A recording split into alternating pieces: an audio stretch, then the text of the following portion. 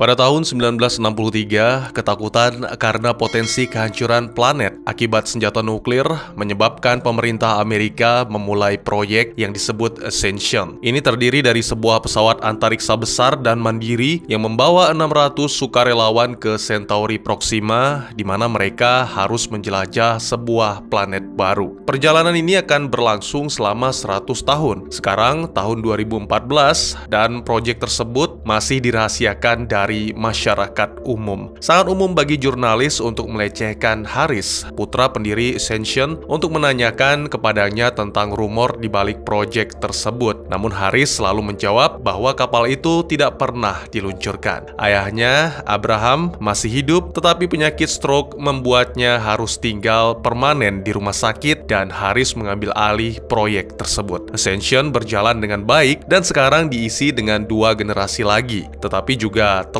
dibagi berdasarkan kelas. Keluarga kaya memiliki pekerjaan terbaik dan hidup mewah di dek atas, sedangkan keluarga miskin memiliki profesi sebagai buruh atau pekerja kasar dan hanya bisa tinggal di dek bawah.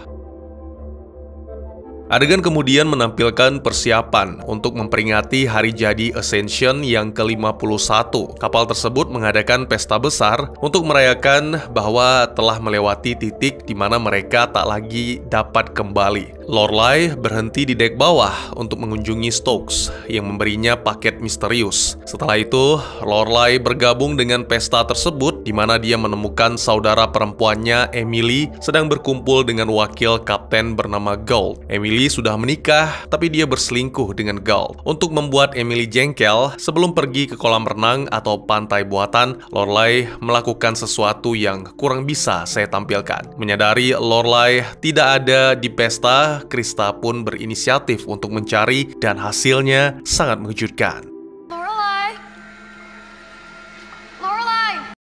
Beberapa waktu kemudian, Gold, suami Emily, Duke, dan Kapten William dipanggil untuk melihat mayat tersebut. Dr. Juliet Bryce berpendapat sepertinya Lorelai tewas karena kecelakaan. Namun Gold melihat bekas tali di pergelangan tangannya dan mencurigai bahwa Lorelai dibunuh. William yang juga melihat hal tersebut tidak ingin terjadi kepanikan di kapal. Jadi dia meminta Gold untuk menyelidiki secara rahasia. Sementara itu, Krista yang mengalami shock karena melihat kematian kematian Lorelai segera dirawat di ruang medis. Tiba-tiba wanita itu mulai gemetar, mengatakan bahwa mereka sedang menonton dan bahwa Globus melihat semuanya. Dr. Juliet yang melihat Krista histeris langsung meminta anaknya Nora menyiapkan obat penenang untuk disuntikan ke Krista. Di suatu tempat di dalam kapal, sesosok misterius melukiskan kata-kata tidak ada masa depan pada dinding. Kemudian Gold memeriksa rekaman dan menemukan bahwa lokasi kematian Lorelai tidak terpantau oleh kamera pengawas. Pada rekaman kamera koridor, tidak ditemukan petunjuk apa pun siapa yang masuk atau meninggalkan area tersebut. Jadi mereka tidak bisa menjelaskan bagaimana Lorelai tewas di sana. Emily datang untuk memberitahu Gold bahwa Lorelai diam-diam berkencan dengan pria bernama James karena pria itu berasal dari dek bawah. Hubungan mereka pun dirahasiakan. Pada malam tewasnya Lorelai, Emily mencoba meminta Lorelai untuk berhenti berhubungan dengan James Toback, bukannya menuruti, Lorelai malah mengancam Emily akan membocorkan perselingkuhannya dengan Gold ke Duke Vanderhouse.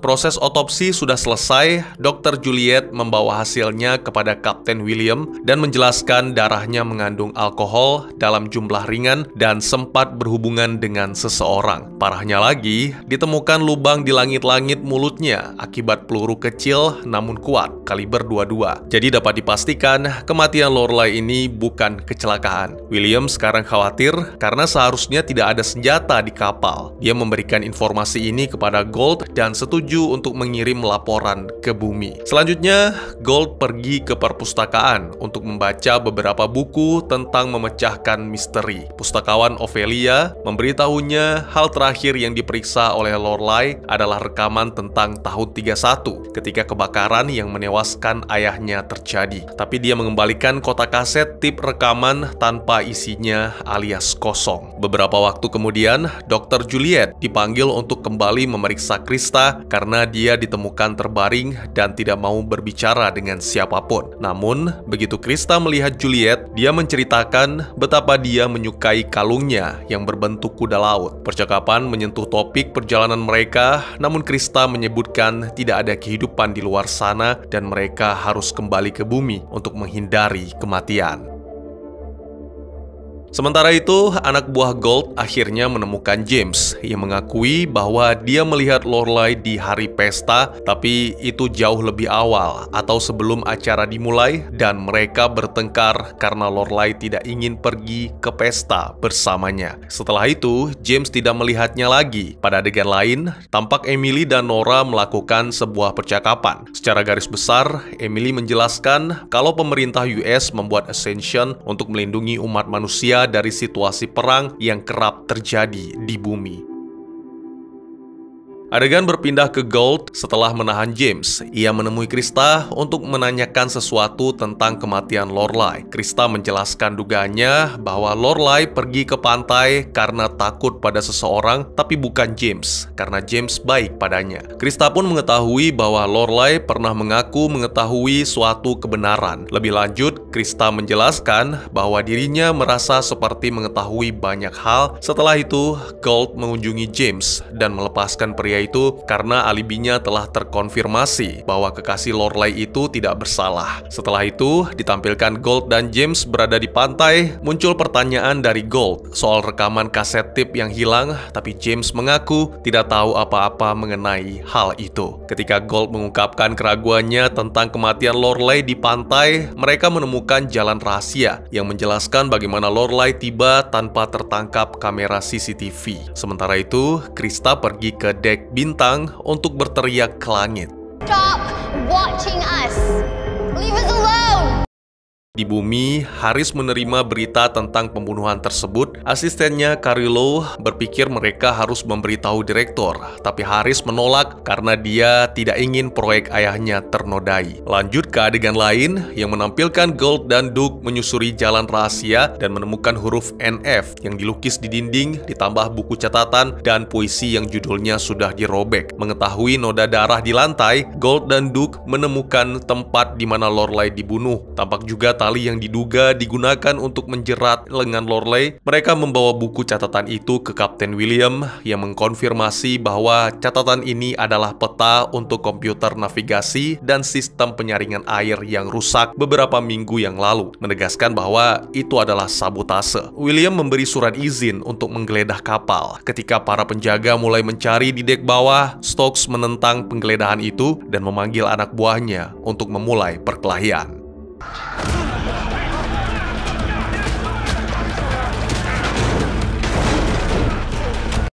Pertemuan tersebut terhenti ketika peringatan mengumumkan bahwa kapal mendekati badai radiasi besar dan semua orang harus tetap berada di dalam ruangan pelindung mereka sampai kapal tersebut berhasil melewati badai. Perisai yang seharusnya melindungi kapal macet, jadi Gold mencari tukang listrik dari dek bawah untuk memperbaikinya. James memanfaatkan kekacauan tersebut untuk meminta Nora pergi bersamanya ke pantai karena Lorelai mengatakan telah menyembunyikan sesuatu di sana dan tidak mempercayai petugas lagi. Bersama-sama, mereka menarik beberapa pipa di bawah air dan menemukan selotip yang ditinggalkan Lorelai di dalam toples. Juliet memberi Krista obat demi mencegah serangan panik dan meninggalkan kalung untuk membuatnya merasa terlindungi. Setelah beberapa perjuangan dengan korsleting, tukang listrik bernama Nixon berhasil memperbaiki perisainya. Setelah itu, dia menggunakan momen tersebut untuk memberitahu Gold bahwa telah melihat Stokes memberi Lorelai senjata pada hari pesta digelar. Semua orang berlari ke pot atau cangkang anti radiasi untuk menunggu kapal melewati badai. Krista yang sudah berada di dalam pot melihat seseorang dengan pakaian astronot masuk ke kamarnya dan mengambil kalung milik Dr. Juliet. Beberapa saat kemudian, badai berlalu dan kehidupan kembali normal. William yang sudah mendengar informasi dari Nixon si tukang listrik langsung mengizinkan penjaga menggerebek tempat kerja Stokes. Mereka menemukan pistol di dalam ember dan Stokes bersumpah kalau dirinya di dijebak, tapi ia tetap ditangkap.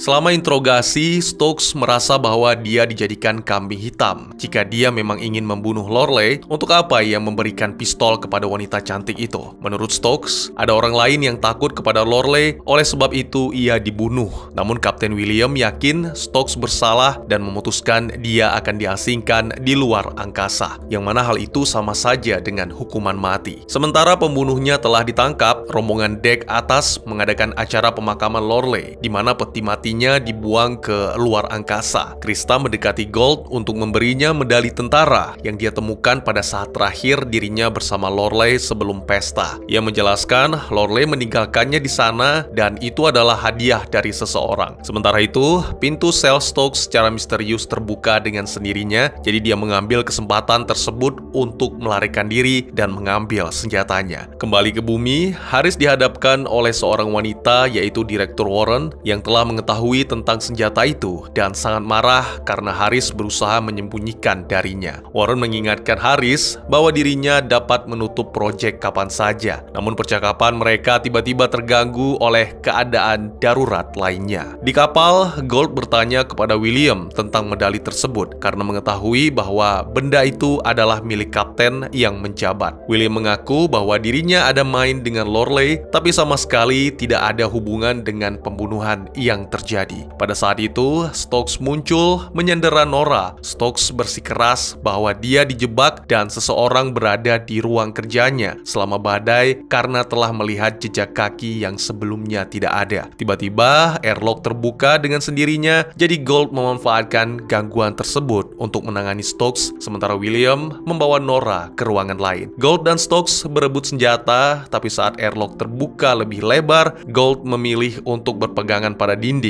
sementara Stokes tersedot keluar angkasa.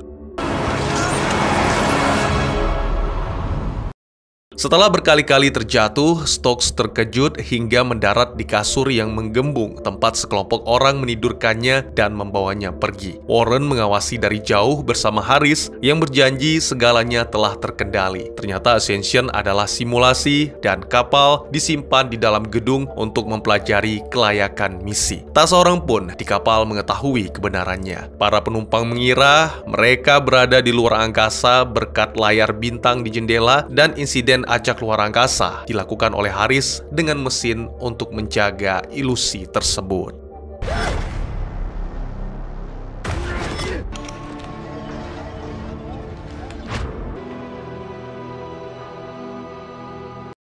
Beberapa waktu kemudian, Warren mengirim Samantha, seorang konsultan keamanan yang akan mengawasi segala sesuatu karena menurutnya Stokes tidak melakukan dan pembunuh yang sebenarnya masih berkeliaran. Sementara itu, di salah satu ruang generator, seseorang misterius memasang peledak dan menulis tidak ada masa depan di dinding. Beberapa saat kemudian, peledak aktif di dekat Terra Lab Beberapa pekerja terluka, namun untungnya tidak ada korban jiwa. Haris dan Samantha melihat ledakan dari luar dan harus mundur saat kapal melepaskan apinya. Gold, William, dan Duke menemukan grafiti tidak ada masa depan dan memutuskan untuk memberitahu semua orang ledakan itu adalah kecelakaan. Samantha mencoba untuk berbicara dengan Stokes, tapi Stokes menyerang wanita itu dan menolak menjawab pertanyaan hingga melontarkan kata-kata kasar. I'm in hell.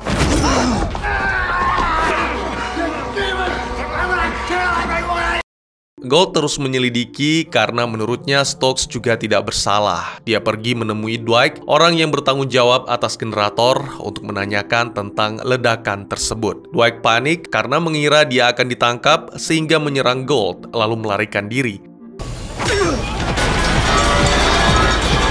Kemudian adegan berpindah ke Samantha yang bertemu dengan Warren untuk memberitahunya bahwa Haris mengatakan ledakan itu adalah kecelakaan. Tapi dia tahu Haris berbohong. Dia juga berpikir ada lebih banyak hal yang terjadi di sini daripada eksperimen. Warren membenarkan bahwa dia mengirim Samantha karena ingin menemukan kebenaran di balik eksperimen tersebut dan menyelidiki pembunuhan hanyalah alasan yang tepat untuk mengirim wanita berambut bondol tersebut. Adegan ini seolah menguak sedikit sedikit misteri tentang eksperimen kapal yang menampung 600 jiwa di dalamnya. Kalau sebelumnya Emily menjelaskan kapal tersebut dibuat untuk menyelamatkan umat manusia, tapi tidak dengan ucapan Warren. Adegan kembali berpindah ke kapal, sementara orang-orang tengah sibuk menikmati waktu di pantai buatan karena suhu di kapal lebih panas dari biasanya sejak peledak diaktifkan. William dan Duke mengunjungi Gold di rumah sakit untuk memberitahu dia bahwa mereka tidak dapat menemukan Dwight di mana pun. Mereka juga mengetahui ada generator lain yang hilang, jadi mungkin ada peledak lain yang akan aktif. Sementara itu, Samantha yang mulai kesal karena Haris dianggap berbohong dan menyulitkan Akhirnya Haris pun mengakui dirinya tahu kalau ledakan yang terjadi bukan karena metana, melainkan peledak. Haris juga mengakui Ascension adalah sebuah eksperimen dan 600 kru di dalamnya dianggap pahlawan.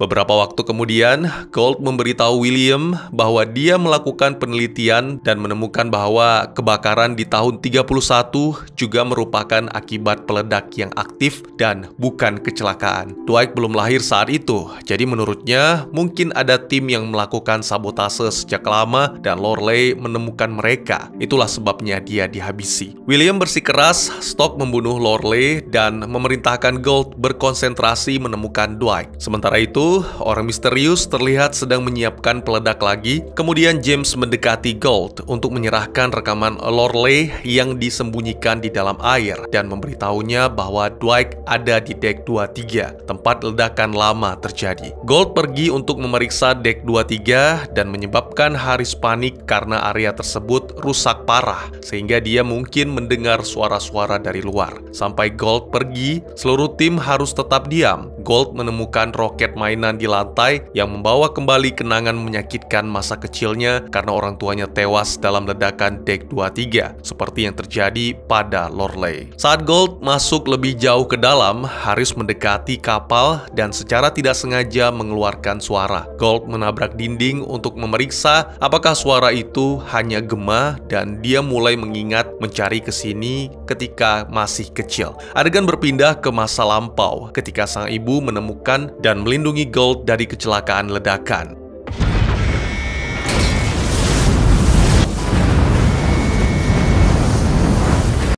Sepertinya wanita penjaga perpustakaan adalah ibunya Gold sebab ada bekas luka bakar di wanita yang bernama Ophelia tersebut. Masuk lebih ke dalam ruangan, Gold menemukan peledak dan Dwight yang mendorong Gold menjauh saat dia mengaktifkannya. Ternyata Stokes adalah ayah Dwight dan kini Dwight ingin membalas dendam atas kematian sang ayah. Di luar, Harris meminta semua orang untuk mengungsi, mengabaikan Gold karena proyek ini lebih penting. Gold melompat ke Dwight untuk melawannya dan setelah beberapa perjuangan, dia mengambil remote dan mematikan bomnya. Tangki oksigen Dwight rusak dalam pertarungan. Jadi ketika Gold berlari keluar dan mendekompresi ruangan, Dwight pun tewas. Belakangan, Samantha menemukan situs konspirasi menunjukkan beberapa ilmuwan yang terlibat dalam proyek tersebut hilang atau meninggal pada tahun 60-an dan dia memutuskan untuk menghubungi webmaster tersebut dengan kode 63 garis miring 70. Sebagai satu-satunya cenayang dalam kapal, Krista memimpikan kalung Dr. Juliet, sementara Haris tiba di rumah dan memberikan memberikan kalung liontin kuda laut milik Juliet itu kepada istrinya. Ditampilkan seorang wartawan yang mewawancarai seorang wanita tua yang kehilangan anaknya ketika sang anak masih kecil. Anaknya dan anak-anak lainnya dididik oleh ilmuwan pria yang bernama Abraham Ensman. Diduga bahwa Abraham juga sebagai operator dalam sebuah penelitian. Adegan berpindah ke Krista yang sedang berbincang dengan Ophelia. Masih dengan cenayang yang khas, ia mendapatkan sebuah pandangan atau mimpi bahwa tragedi buruk akan segera terjadi, membenarkan bahwa dia punya kontak di dalam kapal. Beberapa hari kemudian, sejumlah kru ada yang bersiap untuk mengikuti tes pramugari dan anggota militer. Di tempat lain, Krista bersiap untuk diberikan suntikan yang diduga vaksin di klinik Dr. Bryce. Saat tiba gilirannya, Krista tidak mau disuntik dan mulai panik sambil berteriak bahwa suntikan itu beracun. Ophelia yang ada di sana mencoba suntikan ke tubuhnya terlebih dahulu untuk menunjukkan kepadanya bahwa semua baik-baik saja. Tetapi beberapa saat kemudian, wanita itu mulai mengalami kejang. Samantha bertanya-tanya apa yang terjadi, tapi Haris berjanji Ophelia hanya mengalami reaksi alergi terhadap suntikan vaksin yang ditujukan untuk Krista karena setiap suntikan dibuat khusus. Kemudian di rumah sakit, Krista memberitahu Juliet dan Gold bahwa Ophelia sakit karena kesalahannya. Krista takut dengan suntikan itu karena dia melihat seorang pria memasukkan sesuatu ke dalam botol dan Ophelia menawarkan untuk menemaninya. Krista melihat semua ini dalam mimpi dan bersumpah pria yang menyabotase suntikan itu adalah orang yang sama yang dia lihat bersama Lorelei di terowongan yang juga menjadi kenyataan. Krista yakin pria ini masih berada di dalam kapal. Sementara itu, Samantha bertemu dengan Eva, penanggung jawab situs konspirasi yang sebelumnya ditampilkan sedang mewawancarai wanita tua. Dia menunjukkan bukti 70 ilmuwan yang hilang dan menambahkan bahwa proyek tersebut menggunakan inisiatif pendidikan lanjutan Kennedy untuk menculik anak-anak dan menggunakan mereka dalam proyek tersebut. Eva berbicara dengan salah satu orang tuanya yang telah mencari putrinya selama lima tahun dan percaya bahwa kunci segalanya adalah adalah Abraham. Eva juga tahu bahwa Samantha sedikit banyak mengetahui perihal ini, khususnya sosok Abraham Ensman. Sementara itu, Haris menonton rekaman kepanikan Krista dan kagum dengan kondisi gadis kecil itu karena mereka belum pernah memiliki seseorang dengan penanda genetik tersebut sejak tahun 83 ketika seorang pria menerima suntikan yang salah. Sistem kekebalan tubuh pria itu mulai menyerang dirinya sendiri karena dia tidak menerima suntikannya dan kini Haris khawatir Krista akan mengalami hal yang sama. Mereka memasukkan sesuatu ke dalam susu Krista, tapi dia tahu mereka mencoba menjebaknya dan dia menumpahkan susu tersebut ke lantai sambil melihat langsung ke kamera.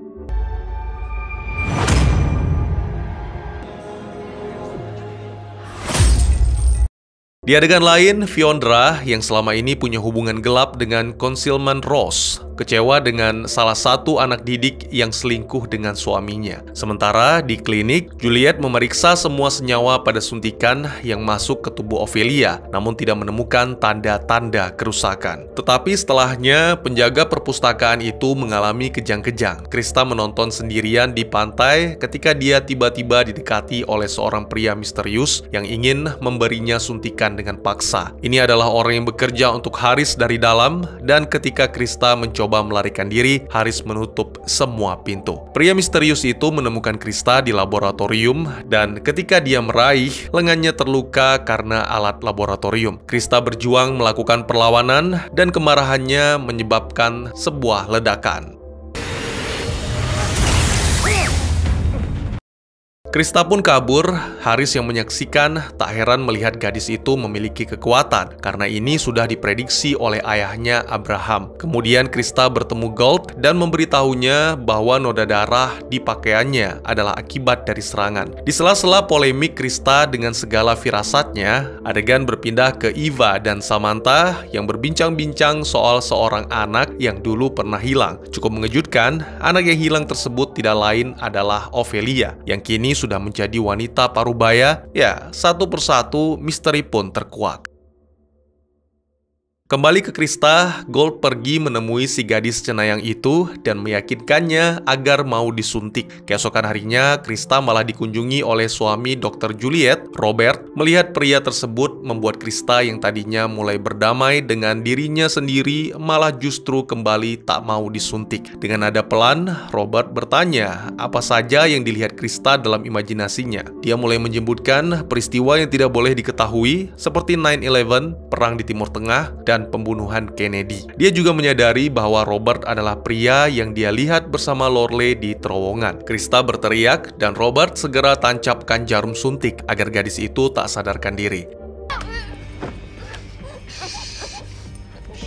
Sayangnya, hal tersebut berhasil dilakukan Robert beralih ke CCTV di mana Haris dan kawan-kawan bertanya-tanya tentang apa yang harus dilakukan sekarang ketika rahasianya terbongkar. Haris terlihat tenang karena keesokan harinya Krista pasti sudah melupakan semua. Robert sepertinya punya trik cerdik memberitahu Gold bahwa darah di gaun Krista adalah milik asisten lab Juliet, pemuda yang sedang magang di klinik. Para penjaga pergi untuk menangkapnya, tetapi ketika mereka memasuki ruangan, mereka menemukan pria itu tewas tergantung dengan luka pada lengannya.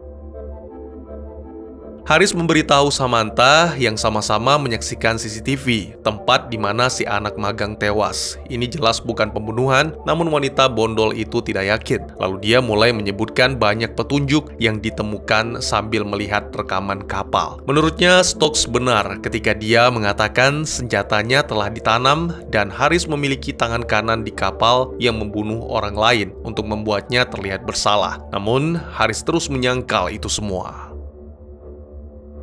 Gold memberitahu William bahwa mereka menggeledah kamar asisten dan bertanya-tanya, tetapi mereka tidak menemukan petunjuk apa pun. Teori saat ini adalah dia merasa bersalah karena memberikan suntikan kepada Ophelia. Kemudian, sejumlah adegan ditampilkan, Fiondra pergoki suaminya selingkuh, Samantha gagal menemukan bukti kuat dari investigasinya. Krista membacakan cerita untuk Ophelia yang tengah terbaring tak sadarkan diri, dan John Stoke dikurung seperti orang gila lalu berteriak. Kill you all. Beberapa hari kemudian, kru mengadakan pesta untuk mengumumkan bahwa karena kematian baru-baru ini, tiga pasangan yang beruntung akan diizinkan memiliki bayi untuk menjaga populasi kapal. Haris dan Samantha memantau percakapan tersebut. Haris menerangkan sejumlah eksperimen terkait populasi. Sementara itu, Krista terbangun tengah malam karena mendengar suara cekikikan wanita. Dia mengikuti kebisingan di koridor dan menemukan hantu Lorley. Gadis itu mengikuti bayangan hantu sampai ke pesta, di lokasi pesta, kapten dan istrinya mengumumkan tiga pasangan terpilih yang boleh memiliki keturunan di dalam kapal, sebagaimana ada sejumlah yang meninggal agar populasi tetap balance. Salah satu dari tiga pasangan yang beruntung itu adalah Duke dan istrinya Emily. Gold tak kuasa menahan rasa sedihnya mengetahui berita tersebut. Ya, Gold sempat menjalin hubungan terlarang dengan Emily, bahkan sampai sekarang ia masih mencintai istri Duke tersebut. Pesta seketika hancur ketika video perselingkuhan Kapten dengan Lorelei secara tiba-tiba tayang di layar pesta dan semua orang menyaksikannya. Dalam gambaran film, itu semua ulah dari hantu Lorelei. Hantu Lorelei tak ingin Krista melihat cuplikan video dewasa itu dan teriakan pun pecah.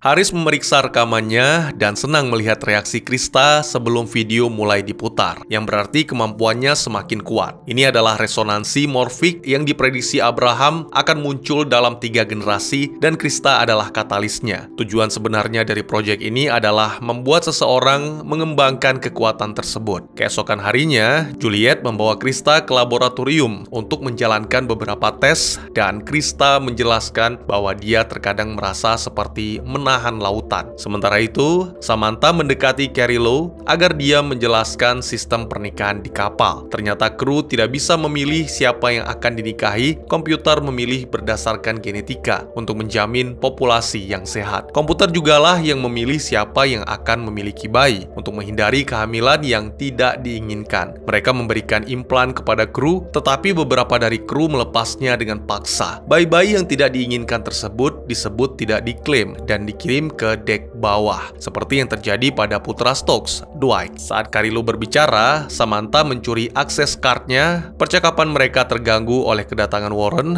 yang telah membaca laporan Samantha dan dia tidak senang. Sementara itu, seorang perawat membawakan pil untuk Stokes, dan Stokes akhirnya merasa cukup kuat untuk menjatuhkannya. Saat Warren dan Harris berdebat, Samantha mengambil kesempatan untuk menyelinap dan mengunjungi Stokes. Ia tak menyangka Stokes menjatuhkannya hingga tak sadarkan diri. Beberapa waktu kemudian, Samantha bangun dan mendapati diri terikat di ruang ganti. Stokes mengambil beberapa pakaian dan pisau untuk membuat Samantha membawanya menemui kapten karena Stokes masih mengira dia ada di kapal. Tak sengaja karena terpaksa, Samantha memandu Stokes ke hanggar dan mengatakan yang sebenarnya terjadi, menyebabkan Stokes stres berat karena mengetahui fakta sebenarnya.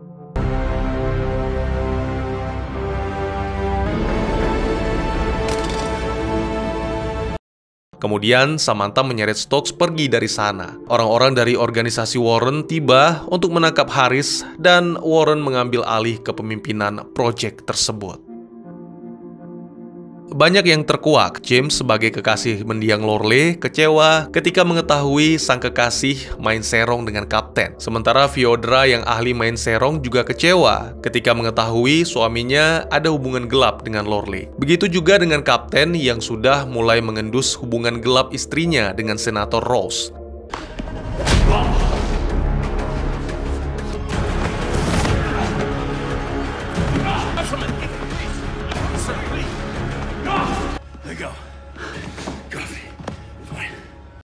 Belum lagi Gold yang sepertinya tak kuasa melepaskan Emily kembali harmonis dengan suaminya, Duke, dan semuanya pun sepertinya galau berjamaah. Lanjut, Gold memeriksa Krista yang masih menjalani serangkaian tes. Dia juga mengambil kesempatan untuk bertanya kepada Robert tentang rekaman nakal tersebut dan dengan memeriksa sistemnya, Robert mengkonfirmasi bahwa kode William lah yang mengunggah video tersebut dan itu tidak masuk akal. Sementara itu, Krista terus mendengar suara memanggil namanya.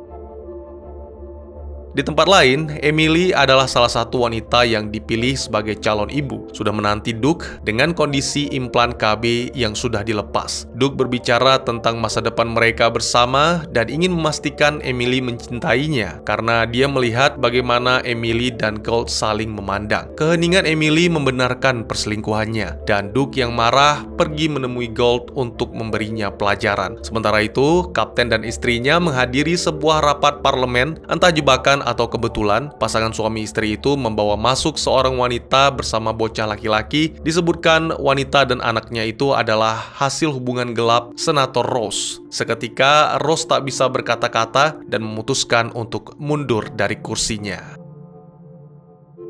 Di tempat lain, ditampilkan Stokes yang sedang bahagia merasakan sinar matahari setelah sekian lama terkurung dalam sebuah kapal raksasa. Bersama Samantha, ia melihat sebuah prasasti nama-nama kru kapal yang sudah tiada. Betapa terkejutnya Stokes ketika melihat nama anaknya di daftar tersebut. Adegan selanjutnya menampilkan Krista melihat hantu Lorelei lagi dan mengikutinya keluar dari lab menuju pantai, di mana dia menemukan Duke dan Gold sedang berkelahi. Ingin menghentikan mereka, dia secara tidak sadar melepaskan kekuatan tersembunyi yang ia miliki dan menyetrum Duke hingga pingsan. Karena tidak tahu bagaimana cara berhenti, dia kehilangan kendali atas kekuatannya dan mengalirkan arus ke seluruh kapal.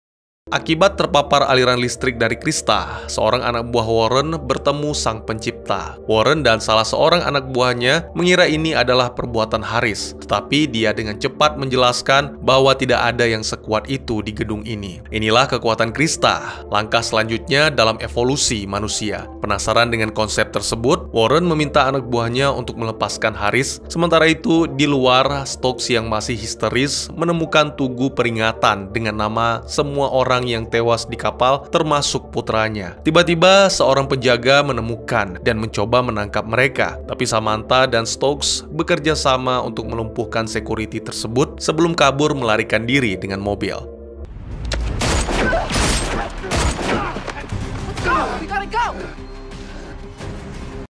Setibanya di mobil, Stokes melihat perut kanan Samantha berdarah.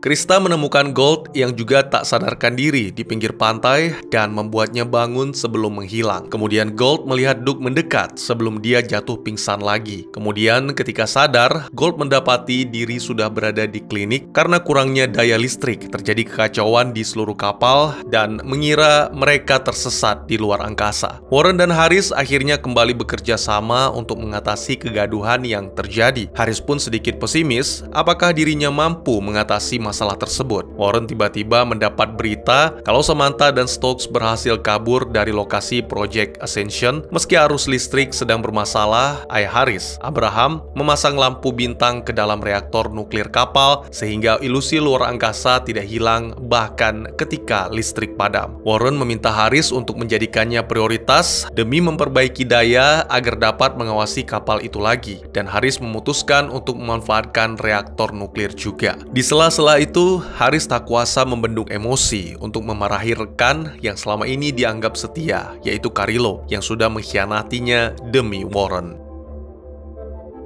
Kembali ke cerita pelarian Samantha dan Stokes. Stokes mampir ke sebuah gerai swalayan untuk membeli perbekalan karena tahu perut wanita itu berdarah. Stokes meminta obat yang paling manjur serta menyakiti seorang karyawan demi mendapatkannya tanpa resep. Ow!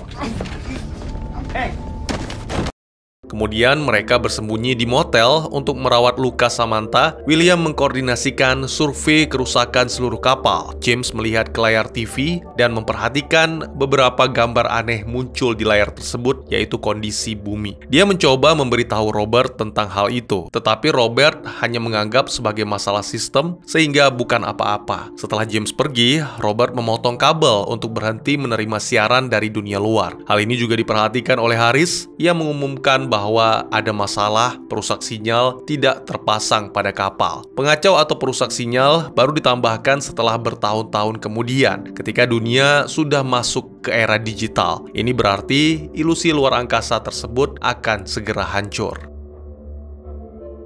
Ruangan medis kapal semakin dipenuhi orang akibat terkena hiperkapnia, termasuk salah satunya Emily. Sementara di luar kapal, Haris dan Warren yang pelan-pelan berhasil mengatasi masalah satu persatu malah mendapati rekaman CCTV Stokes yang sedang merampok apotik di kota. Sementara itu, Samantha bertemu dengan Eva untuk meminta bantuannya meninggalkan negara itu dan memberitahu dunia tentang Project Ascension. Kembali ke kapal, Kapten dan Gold sibuk memadamkan api agar situasi hiperkapnia teratasi. James menjelaskan regulasi kapal yang menyebut Fiondra sebagai pemimpin kapal sementara. Perintah pun dikeluarkan oleh istri kapten yang menyuruh James untuk mengevakuasi orang ke tempat yang banyak oksigen. Haris kesal dengan situasi tersebut, penyaring udaranya rusak, dan satu-satunya jalan agar kondisi kapal kondusif adalah memperbaiki alat tersebut. Di tempat lain, tepatnya di pinggir pantai, Krista yang awalnya diduga cenayang, namun ternyata hasil eksperimen yang diharapkan dihampiri oleh suami Dr. Juliet. Krista mengatakan ada bisikan dari Lorelei bahwa semua kehidupan ini palsu, sebentar lagi akan ada orang bumi yang akan datang menjemputnya. Persis seperti perintah Warren yang menyuruh orang secara diam-diam menyusup ke kapal untuk menjemput Krista. Setelah itu, Krista pun berlari meninggalkan Robert Bryce dalam proses pengejaran Krista, Robert menyempatkan diri untuk menghubungi Haris. Ya, ternyata keduanya memang sering berkomunikasi. Robert menceritakan informasi yang ia dapat. Namun sayangnya, Haris tidak bisa berbuat apa-apa karena kini semua sudah di luar wewenangnya. Tiba-tiba muncul adegan yang memperlihatkan Gold terkena sebuah ledakan hingga tak sadarkan diri. Samantha dan Eva kembali ke motel hendak temui Stokes menunjukkan simpatinya atas kehidupan sulit yang dialami di dek dan seolah berada di luar angkasa. Saat Stokes pergi mengambil barang-barang mereka, Samantha menunjukkan bahwa dia juga pernah memberitahu Eva tentang dek bawah, yang berarti dia telah bekerja untuk Haris selama ini. Situs web tersebut dibuat dengan sengaja agar petunjuk apa pun tampak seperti teori konspirasi. Supaya dia tidak berbicara, Eva merampas pistol sama Samantha dan menembak si rambut bondol itu hingga tewas kemudian mengejar Stokes.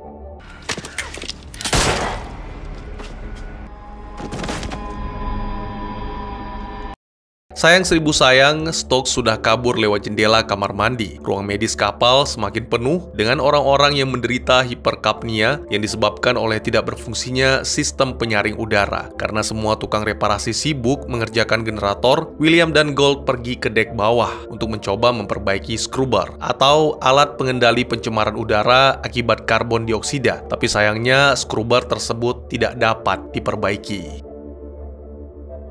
Haris yang sedari tadi sudah menyadari hal yang sama tentang Scrubber dan Warren khawatir Krista akan mati. Jadi dia mengirim salah satu kaki tangannya untuk membawa Krista keluar dari kapal dan orang itu sudah tiba di sana. Mendapati Krista sedang dibujuk oleh Robert untuk ikut dengannya sebelum dibawa pergi oleh anak buah Warren. Dan sebuah pengakuan pun diucapkan oleh Robert bahwa dialah yang membunuh Lorelei. Robert pun berhasil dilumpuhkan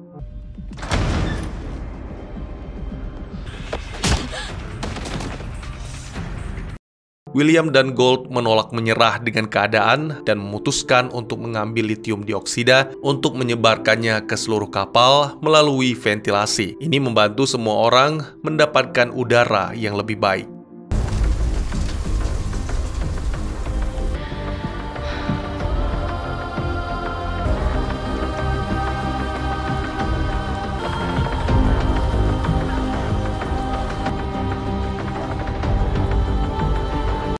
Gold yang tadinya membantu kapten tiba-tiba melihat arwah Lorelei yang membawanya ke lokasi pantai tempat Krista sedang dibawa paksa oleh anak buah Warren. Gold yang melihat hal itu langsung menyerang anak buah Warren. Saat kedua pria itu serius bertarung, Krista yang ketakutan melepaskan seluruh kekuatannya dan menyebabkan kedua pria itu menghilang.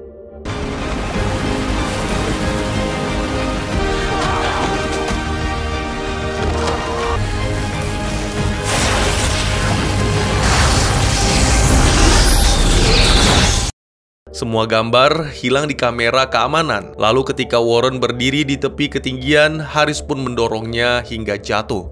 Medici answer. Ah!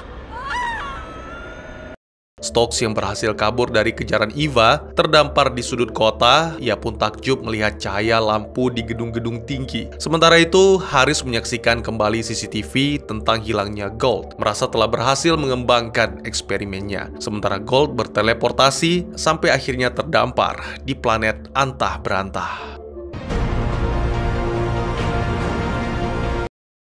Sekian dulu teman-teman, terima kasih buat yang sudah menyaksikan. Jika teman-teman suka dengan cerita ini dan ingin dilanjutkan, izinkan saya untuk mengetahuinya dengan klik tombol like-nya ya. Kalian juga dipersilahkan untuk merequest kira-kira film apa lagi yang menarik untuk dibahas. Bisa di kolom komentar atau bisa juga melalui DM ke Instagram saya di @tekugusto. Insya Allah pasti akan dibaca. Silahkan dukung channel ini dengan cara share, like, dan subscribe. Sampai jumpa di video selanjutnya. Tetap semangat, tetap bersyukur setiap hari hari. Dadah!